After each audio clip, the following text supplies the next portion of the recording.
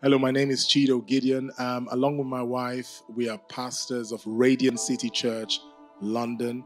Um, uh, it is our joy. Thank you to Pastor Agu Irukwu for inviting us to join with this amazing initiative here at Prayer Shield and just declaring over the nation the will of God, the purpose of God. It is a joy and an honor for myself and my wife Vanessa to, to stand in faith with all these other ministries in believing the favor of God upon this nation. Join me, let's pray.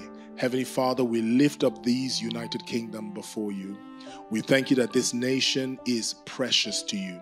We thank you that you have an amazing plan for this nation, for the future of this nation. Today we stand in faith with believers all across this nation, and we are declaring, Lord, let your kingdom come. Let your perfect will be done in this nation. We're asking for peace to reign. We're asking for your wisdom upon our prime minister, your wisdom upon the queen, your wisdom upon every elected official. We're asking that they will lead and guide this nation in wisdom and under your counsel under the influence of the Holy Spirit. We pray for the church in this nation that you are lifting the church up, continuing to use the church as a vessel to declare your perfect will in this nation.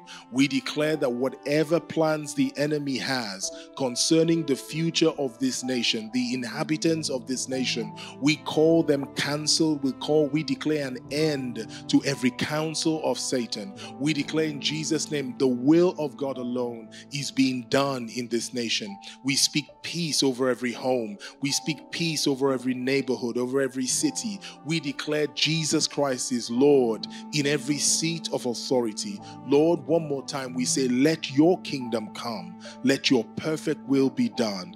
In Jesus' name we pray. And everyone said, Amen.